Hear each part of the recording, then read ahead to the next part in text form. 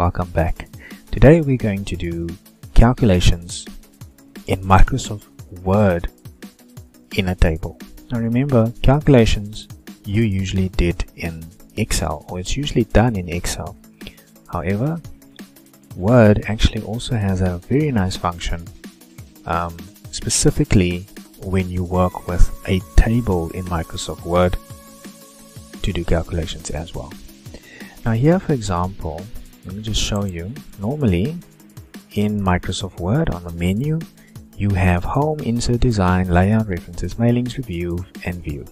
That's your standard menu that you have in Microsoft Word. But the moment that you create a table, say for example like this one, and you click inside the table, you then get an extra menu or an add-on, a table menu, specifically geared towards the table. On the one side of the table tool, it's design, where you can change the design of your table. And on the other side, layout, this is where you can do other things like split your table or insert the text direction or even change the alignments, etc. But one important bit that you also do get is the formula option. So this allows you to then do formulas in Microsoft Word only applicable to the table. Okay. Now I want to draw your attention now to the following calculations. These are the formulas that we are going to use. We're going to work out the subtotal. This one. And to work out the subtotal, we're going to use the formula equals sum above. Open bracket, above, close bracket. Then we are going to use another formula which is the subtotal. Another subtotal but this one we're going to to to do differently from as from this one a little bit differently. And then we're going to work out the total. And to work out the total we're going to take the amount that we that we worked out for the sub for the first subtotal.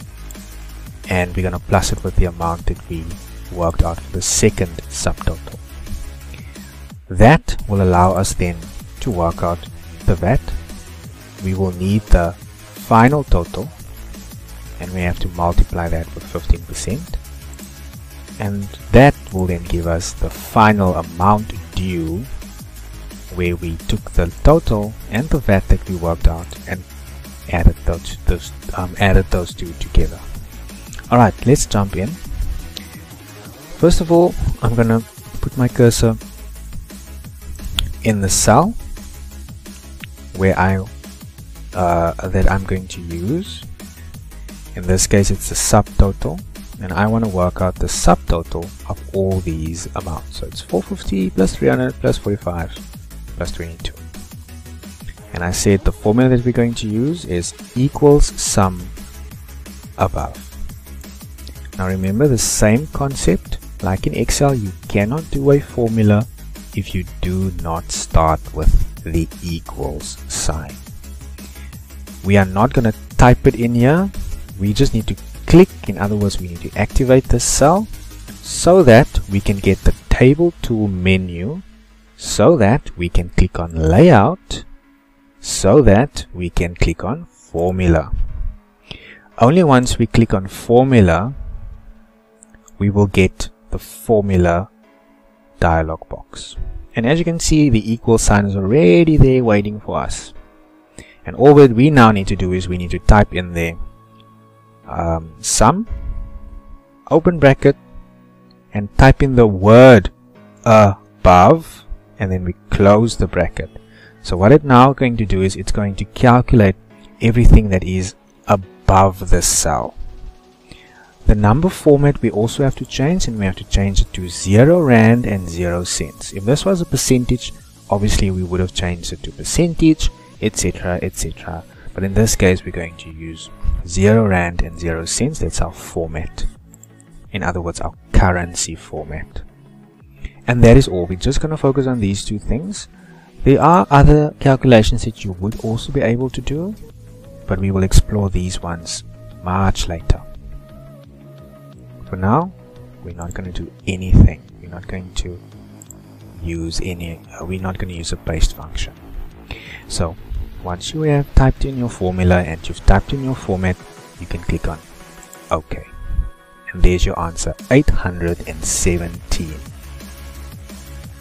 But that was one method of working out the 817.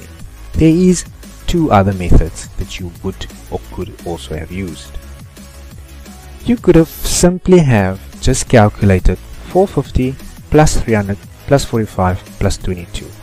It's a longer method, but it would also have worked. For example, put my cursor in the cell, click on formula equals 450 plus 300 plus 45 plus 22. Don't forget your formatting and click OK. Same answer. Again, third method, remember in Excel we have columns and we work with rows. But even so, this is a table, it also has columns and it has rows. So how many columns does this table have? It has two columns. There's one and there's the other one. And how many rows does this have? 1, 2, 3, 4, 5, 6, 7, 8, 9, 10, 11, 12, 13, 14 rows. Alright, and then we can name them like in Excel. This would become column A, for example, and this is column B. And that would mean that this row, the first one is row 1. So that means that this is row 2, row 3, row 4, 5, 6, 7, 8, up to 14 okay so we have so this cell would be B 1 2 3 4 5 6 7 so this is B7 all right.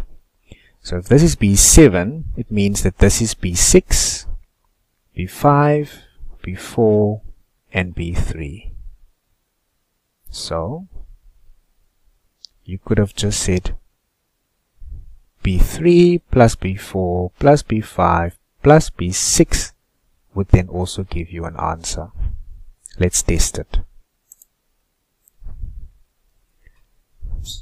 b3 plus b4 plus b5 plus is it b yeah, b6 all right let's see if it works it gives me an answer there we go. So that's another option or way that you could have used it.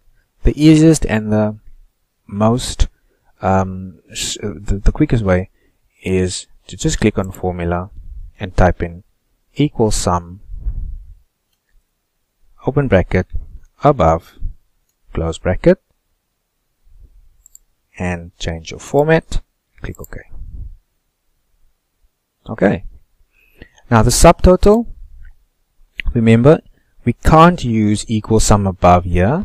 The reason why, if we only want to work out 80 plus 6, which would give us 86. So if we should use equal sum above, we're going to run into a problem. Let me show you. We're going to run in with that problem. 80 plus 6 does not give you 903. The reason why it's giving us 903 is because it's calculating everything that's above. And we only want 80 plus 6, don't we? So, easy way to solve this problem is to just use 80 and 6. So, click on formula, and instead of using equal sum above, you physically can just type in there 80 plus 6. And remember our format, and there's our answer. What else could you have used? If this is B7, it means that this is B8 so this is B9 and this is B10 so B9 plus B10 would have also given us an answer. Let's see.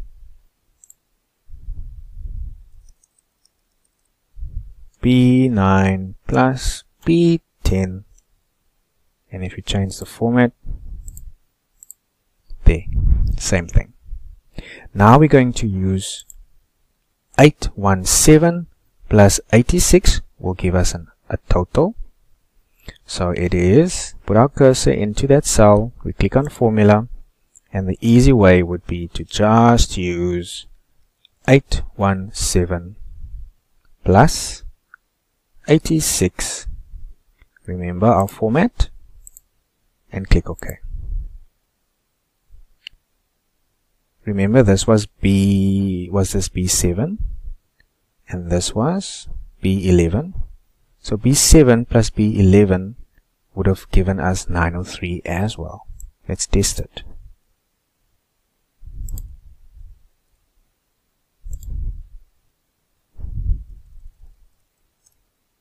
B7 plus B11 same answer awesomeness. No, no, no. Something, something. No, no, no. Is it 903? Let me just double check. So it is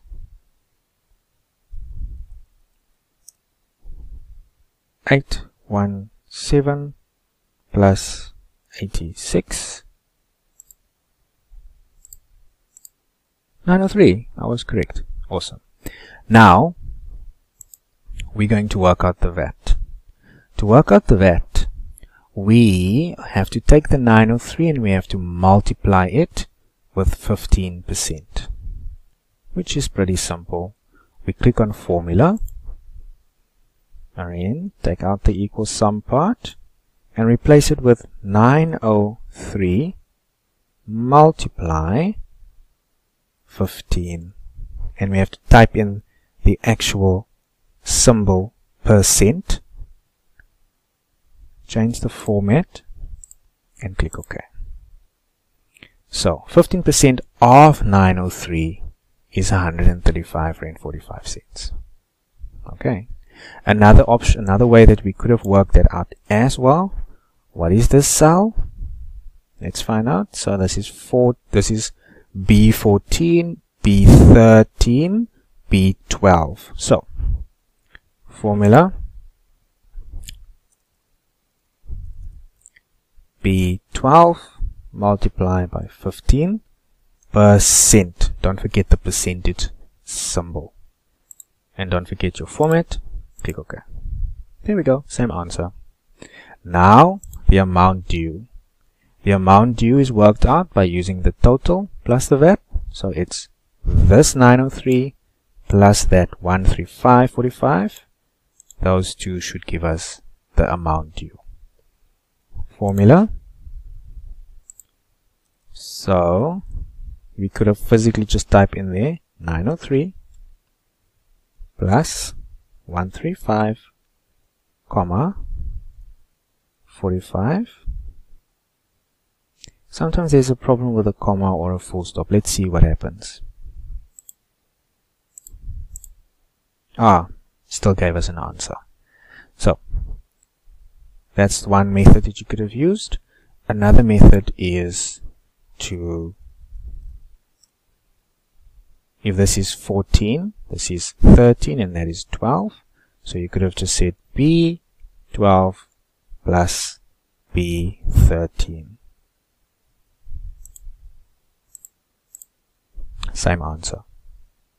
Ah, so now it's your turn to practice.